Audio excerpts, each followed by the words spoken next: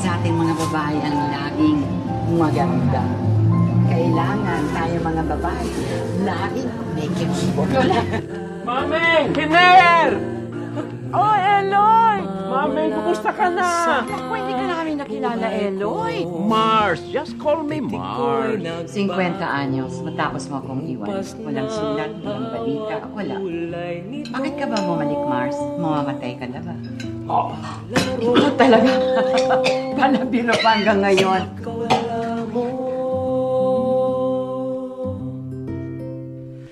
Sa inyong dalawa ng bahay, di ba itong pangako ko sa iyo noon, nung bagong kasal tayo, malaki ang utang na loob ko sa iyo. na Ikaw ang nag-alaga dito sa asawa ko nung iniwan mo siya. Asawa na kami ngayon.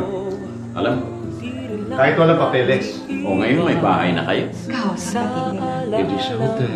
Hindi pwede yan. Saan naman siya titira? Dito, tayong tatlo. Tayong tatlo. May iba pa ba?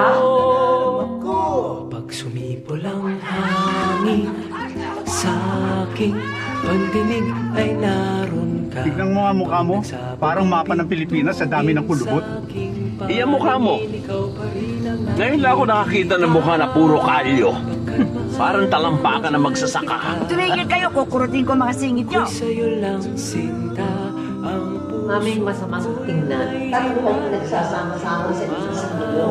Samahan mo kami, ate, para maging apat. Tapos pinangalandakan niyo pa sa buong bayan. Maming sana naman maisip. Hindi ko kasi maintindihan kung anong pinoproblema nyo eh. Matatanda na kami, wala kaming ginagawang masama. Matatanda na kayo. Ngayon kayo nagiging immoral. Ganon, immoral. Hmm, tingnan ninyo, tingnan mga bilbil. Ang kapal-kapal yan. Sa tingin nyo, pagnanasahan pa ba ito? Hmm. Ayan.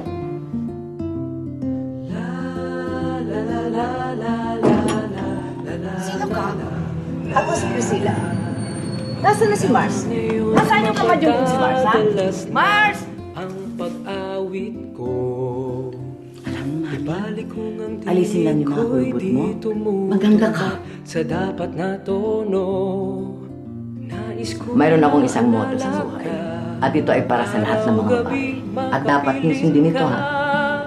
Huwag na huwag kalimutan bilibin ang pechay. Nainggit ka, no?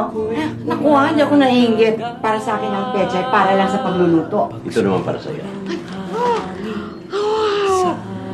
Salamat. Hindi ba yan ang paborito mong kulay? Fuchsia. Nga! Pucha. Fuchsia. Ay, yung mga Amerikano para pula lamang kung ano-ano pa tinatawag nyo. Sabi mo, sabihin mo, sabihin mo. Pusha. Pucha yung dalawa. mahal kita.